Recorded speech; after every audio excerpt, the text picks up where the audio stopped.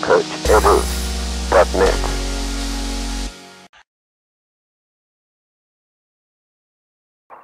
Hi, welcome to today's video and let's check out Genzebe Dibaba's new indoor mile world record and see what there is that we can learn from this. As you can see, the, at, right, right from the start, the pace has uh, cranked up a whole lot right from the get-go.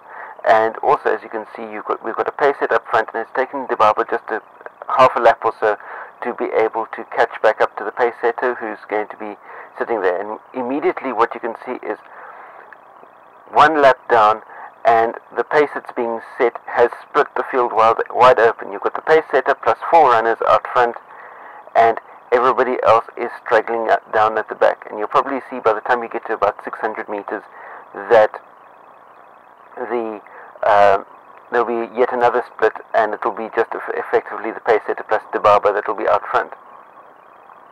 Something else that you should bear in mind and have a look at here is Dibaba's strike rate as she's running along. You'll notice that the uh, pace setter that you got out, out front, she's running at about uh, foot strike rate of about 95.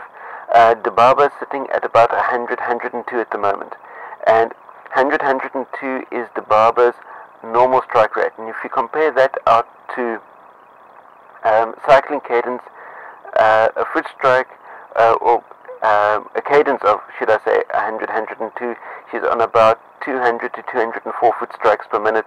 There you go, you can, uh, you can see already that the there's been yet another split in the field, and it's just Dibaba and the pace setter that are out front.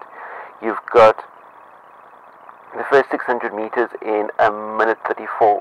So Dibaba's maintaining a constant pace here to be able to get under the current world record. And you'll see how much she was able to crank it up. But very interesting to notice, still 100, 102 uh, cadence, uh, 200 to 204 foot strikes per minute. And uh, what I was talking about is when Bradley Wiggins set the world hour, hour record in cycling, he was running at a cadence of um, he was running at a cadence of um, 105. So he was cycling at a cadence of 105 there. The, as you can see, the uh, pace setters um, swung off after, after 800 meters, and now for the final 800 meters, it's all Dibaba and cranking up the pace. You can see that she's her pace is increasing, but her pace is increasing due to the fact that she's kicking out her strides stronger at the back. She's not overstriding out the front, she's not heel overstriding in order to be able to heel strike. What she's doing is she's kicking her legs more powerfully out the back, and that means that she's still coming down with a forefoot strike. You'll notice uh, both Dibaba sisters with their world records are running with a forefoot strike. Heel striking when it comes to world record pace is a thing of the past. And as you can see here, still running at 102 cadence.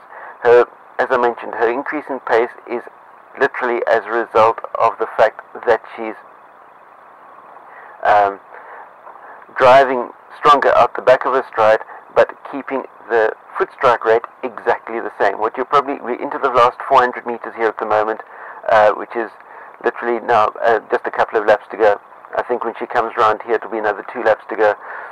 But what you can see here is that her foot strike rate is uh, maintaining equal pace and bearing in mind that the type, types of records that the Dibaba sisters have, have been taking down of late were the ones that were set up by the Chinese fully juiced.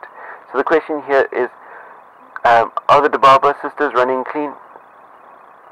Up at the top here, up at this type of level, it's all about business.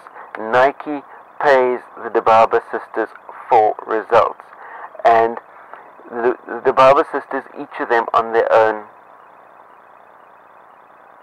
There we go, end of the race. Um, four seconds taken off the world record. And as I was saying, the Dibaba sisters, each of them have generated more income than the Dibaba family collectively has over their collective lifetimes going back. So, elite level running at this type of level, it's all about business. And pharmaceuticals gets you that much faster. Microdosing EPO can't be picked up by the biological passport system. It's as simple as that. So, That's it for this time.